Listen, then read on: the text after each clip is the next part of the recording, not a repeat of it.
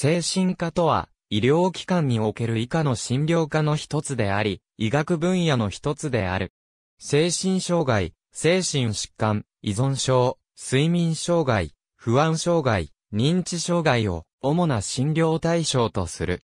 精神疾患の治療は、経済協力開発機構諸国においては、主にプライマリケアを担当する総合診療医が担っている。日本では、精神科医とかかりつけ医に相当する内科医が担っている。プライマリケアは整備途上であるため、プライマリケア医との連携が今後の課題である。厚生労働省は G、P ネットとしてプライマリケア医と精神科医の連携を進める政策をとっている。現在の日本の精神科病院は精神障害及び精神障害者へのスティグマから診察に訪れにくいイメージが強かったため、近年では医療機関名の呼称を診療クリニック、メンタルクリニックなどにしたり、診療科目として神経科、診療内科、メンタルヘルス科と標榜したりして、外来患者が訪れやすくする工夫がされるようになった。項の上では2006年、精神病院の用語整理法が成立し、精神病院を精神科病院と呼ぶことになっている。医学部のカリキュラム文書では、精神科単科病院と表記される。病院によっては、精神医療専門病院と呼ぶところもある。OECD 各国のメンタルヘルス問題時の受診先調査。青は総合診療医、赤は精神科医、緑は臨床心理士。主な診療対象として、統合失調症に代表される精神障害、睡眠障害、知的障害、不安障害、発達障害、認知障害、ギャンブルや飲酒を原因とする依存症等が挙げられる。麻薬や覚醒剤等の薬物依存症の治療も行う病院があるが、日本では欧米と異なり、治療などの予防よりも薬物犯罪としての処罰を重視する傾向や、薬物患者に対する悲観用傾向が強いことや、薬物治療を行うクリニック病院が少数であることから、薬物依存患者が減少しにくいという指摘がある。診療所では主にうつ病、双極性障害などの気分障害、不安障害、睡眠障害の治療に当たっている。依存症の治療を専門に行う診療所も各地に存在する。日本では外来のみの診療を行う診療所、入院施設を有する精神科病院、旧総合病院の一部門としての精神科の3種類の診療形態があり、それぞれ機能を分化している。ザ・エマージェンシーケアプロセス。日本では2002年の診療報酬改定にて、精神科救急入院料病棟制度が制定された。指定数は2009年の時点で59病院。各都道府県に24時間電話を受け付ける。精神科救急医療情報センターを配置し、各精神科病院に紹介する仕組みがある。入院施設のある病院の場合、開放病棟と閉鎖病棟の2種類がある。可能な限り開放処遇とするが、症状が重く自殺等の自傷行為や他者を傷つける行為の危険が切迫している場合などで、精神保健指定医の診察の結果、閉鎖処遇が必要と判断した場合、患者の保護及び治療のため、精神保健及び精神障害者福祉に関する法律に従った手続きを行い閉鎖処遇を取ることがある。なお、閉鎖病棟では入院患者のプライバシーや人権は軽視される場合もある。入院施設は急性期治療病棟と療養型病床群に分けられる。急性期治療病棟は精神疾患において急性期と慢性期では、求められる医療の質、量が全く異なることから、急性期において、重点的なチーム治療を行い早期の退院、社会復帰を行うことを可能にするため、1998年4月の診療報酬改定の際に創設された制度である。療養型病床群に比べて看護スタッフの割合を多く取ること、入院期間が平均3ヶ月以内であることなどが義務付けられ、その代わり診療報酬が高く設定されているシステムである。入院中は精神科医、看護師、公認心理師、理学療法士、作業療法士、音楽療法士、保健師、薬剤師、精神保健福祉士、社会福祉士、栄養士、管理栄養士などによるチーム医療が行われ、カンファレンスを行いスタッフ間での意見の交換が頻回に行われるべきである。また、薬物療法や身体拘束にあたって根拠に基づく医療が行われることが望まれている。旧総合病院も含む精神保健福祉法に基づく精神科病床への入院には大きく任意入院と非自発入院がある。このうち任意入院は自らの意思に基づいた入院で可能な限り任意入院を行うべきであると、同法第22条の3に定められている。非自発入院の判断基準精神保健福祉法が規定する精神障害と診断される。上記の精神障害のために判断能力が著しく低下した病態にある。この病態のために社会生活上、自他に不利益となる事態が生じている。医学的介入なしには、この事態が遷延ないし悪化する可能性が高い。医学的介入によって、この事態の改善が期待される。入院治療以外に医学的な介入の手段がない。入院治療について、インフォームドコンセントが成立しない。しかし、精神疾患に罹患した患者の場合、自らが病気に罹患していることや治療が必要であることを理解しない場合も多い。その際、精神保健指定医が診察した上で、医療及び保護が必要であると認めた場合は、保護者の同意を得て、医療保護入院を行うことができる。措置入院は、自傷疑いの恐れがある場合、主に警察官から保健所への通報により、保健所が手配した精神保健指定医2名の鑑定を経て行われる。入院形態には他に、応急入院、緊急措置入院がある。なお、患者の移送に黄色い救急車が使われるという話は嘘である。なお、食法精神障害者向けには、医療観察法に定められている鑑定入院、指定入院医療機関での入院がある。また一部病院では、一般疾患病棟での入院治療を行っているが、医療法第10条第3項の規定に反するという見解もある。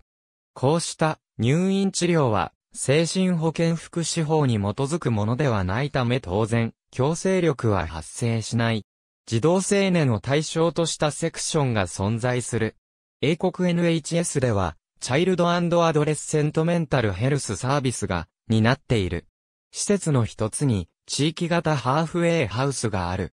これらの施設では、患者時に対し一定期間の日常生活支援が提供される。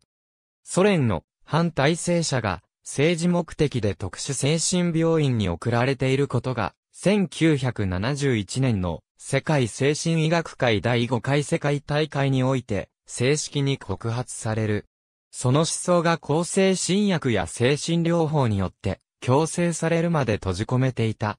また、中華人民共和国では未だに旧ソ連同様に政治目的で精神病院を利用しており、例えば新宗教である、法輪功のメンバーが強制入院させられている。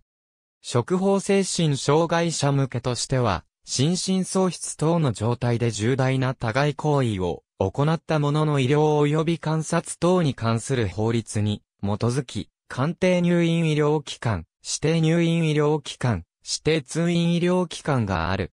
フィンランドは西ラップランド地方で1980年代に始まったものにオープンダイアローグ療法がある。統合失調症の初期に24時間以内に訪問、できるだけ薬物を使わず、患者の妄想にも対等の目線で介入、対話の中で症状の緩和を目指し、モノローグをダイアローグへと開いてゆくことなどを試みる。2年後の調査で、症状再発がないあるいは軽いものにとどまった患者は82%、再発率24%と高い成果がある。日本をはじめとする世界中で注目を集めており、日本ではオープンダイアローグネットワークジャパンという団体が石原浩二、斎藤玉木、高木俊介を中心に発足している。近年薬だけに頼らない精神医療を推進し、自殺予防に大きな効果を上げた。重症度に応じたケアの仕組みを導入し、中心に認知行動療法を据えた。薬物療法は、症状が重い場合のみ認知行動療法と併用し、用いている。英国国立医療技術評価機構で医療機関向けのガイドラインを作り、単剤少量での治療を遵守させた。その他、地域ケアの充実も図った。こうした取り組みにより、ブレア政権下の97から7年の10年間で、人口10万人あたりの自殺者数は9.2人から7.8人と15.2%減少した。1970年代より、セクトゥール制と言われる地域医療が発達している。この制度は、フランス特有の公的精神医療、福祉サービス体制であり、公立病院への入院、外来、地域医療、福祉のすべて一貫して、県の組織で行われ、私立以外はすべて無料である。入院内、外の継続治療、病気の予防や、発症の早期発見などが一つの期間で行え、CMP、オピトールデジュール、アパルトマンテレプティック、キャットプなど備わっているのが特徴。このセクトゥール製に属する病院は、フランス全土に950存在し、公的精神病床数は6万1500床あり、約6600人の精神科医が配置されている。1978年、通称、バザリア法が成立。世界初の精神病院廃絶法である。予防、医療、リハビリは原則として、地域精神保健サービス機関で行う。やむを得ない場合に対処するために、一般総合病院にも15床を限度に設置するが、そのベッドも地域精神保健サービス機関の管理下に置く。治療は患者の自由意志のもとで行われるが、やむを得ない場合には定まった条件を満たした場合のみ、強制治療はある。これにより、イタリア各地における精神医療サービスは、それまでの入院中心様式から、地域、外来治療中心へと展開した。現在のイタリアの精神医療は、精神病院の閉鎖と、その後の地域中心型精神医療サービスへの移行に成功している恒例である。日本では、2006年の調査で、精神科を利用している患者は、約320万人をおり、その数は年々増加する傾向にある。国立精神、神経医療研究センターの松本俊彦は、今の診療報酬体系では、精神科医が一人の患者に時間をかけて話を聞きにくい。短い診察時間だと患者は医師を信頼せず、薬をもらうだけの関係になりやすいため、過料服薬につながる可能性が高まる。じっくり患者の話に耳を傾けることで患者とのつながりを作れる体制を整える必要があると語る。診療所や病院の外来における診療時間は、おおむね10分から15分程度である。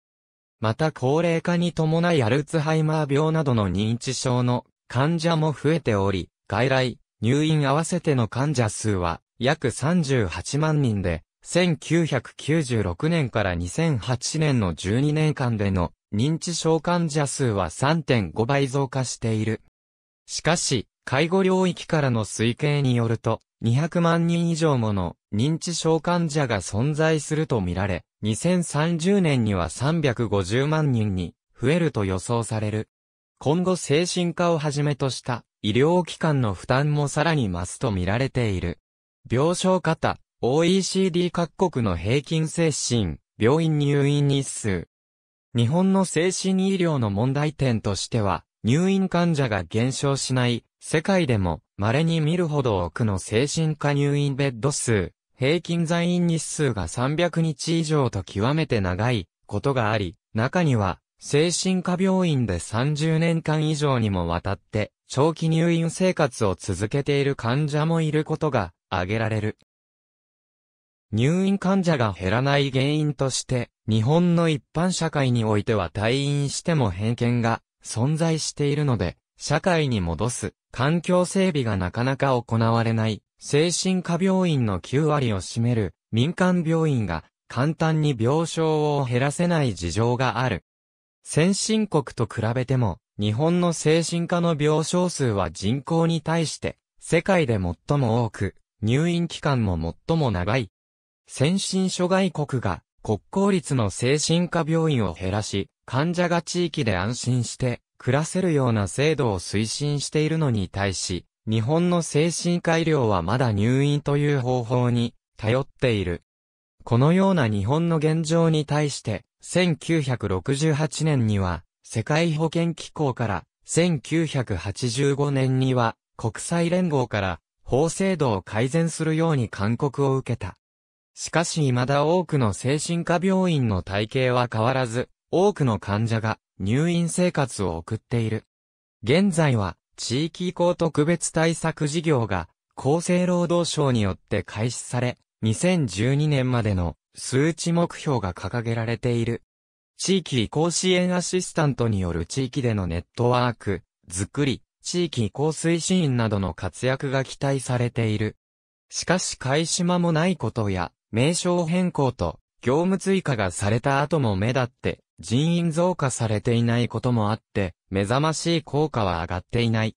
公費負担医療制度2006年4月、障害者自立支援法が施行。患者の世帯収入に応じた応益負担による自立支援医療が実施される。